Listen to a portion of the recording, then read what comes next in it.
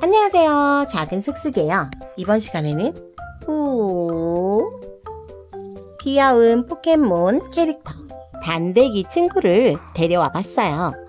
오, 안녕. 어? 짠! 풀에다가 이렇게 풀뚜껑 위에다가 제가 이 스티커를 붙였습니다. 짠! 이렇게 붙여서 쭉! 얘는 번데기인가요? 애벌레 다음에 단계인 이름이 단데기라고 하네요. 정말 간단하게 만들기 쉽겠죠? 그리고 녹색깔 너무 귀여워서 한번 그려보았는데요. 오늘 저와 함께 단데기 친구 만들러 고고고! 통라벨지 통라벨지를 스티커 크기로 잘라서 미리 준비해 주시고요. 손 코팅지도 크기에 맞게 미리 잘라두었어요. 여러 장을 만들어 두면 사용하기 편해요. 그림 그릴 연필과 지우개 준비해 주시고요. 그림에 자신이 없다 하시는 분들은 도안을 활용해 주세요. 검정 펜이나 네임펜, 가위, 색칠을 해줄 마커나 사인펜, 색연필을 준비해 주세요. 라벨지가 준비되었다면 시작하기 전에 좋아요, 구독 꾹꾹꾹 눌러주세요.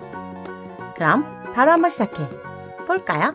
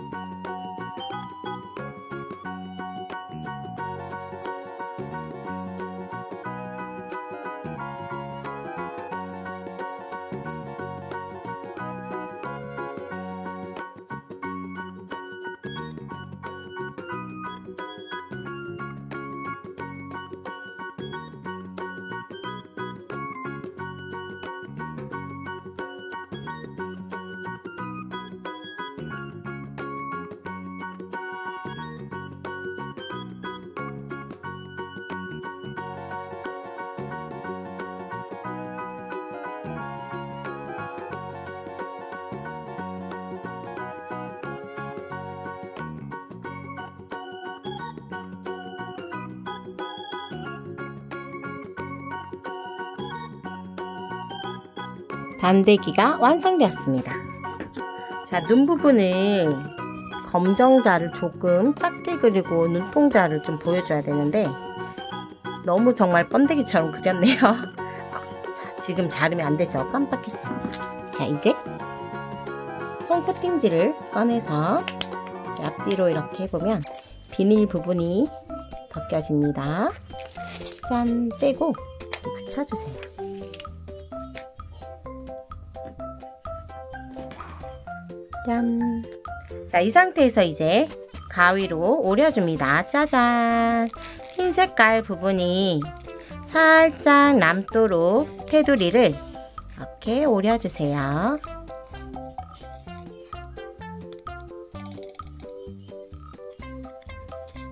자, 이렇게 테두리를 하얀 색깔이 살짝 보이도록 오려주면 완성! 짠! 아주 간단하게 단대기 캐릭터 완성되었습니다. 오!